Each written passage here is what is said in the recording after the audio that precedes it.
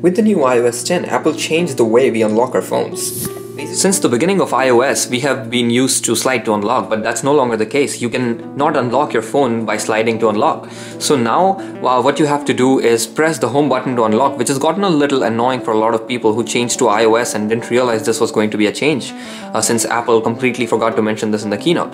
Now, uh, there's a real way to get around it. There's no way to get the slide to unlock back. So let's go ahead and see how you can change this so it suits you a little more easier uh, than pressing the home button to unlock every time. So uh, as you might know that uh, since the time Touch ID came out, you could pretty much place your finger on the home button and it would unlock it for you. But that's no longer enabled by default. But there's a way to unlock that now.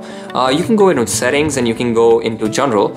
And once you're into general, you can go into accessibility and uh, go inside a new option that is the home button. And if you go inside home button you'll see option called rest finger to open. Now for me this is already on but by default this is not on. So if you turn this on what you will be able to do is basically if you open the phone and if your home if your hand is on the home button, it will open up automatically. You won't have to press the home button. Now this is a real quick fix and this might not bring the same functionality back or the same design back as the slide to unlock, but it's still better than having to press the home button every single time you have to unlock. So um, that was pretty much about it guys. If you have any questions, leave them down in the comments below and uh, like this video, share it, and thank you for watching and I'll see you guys in the next one.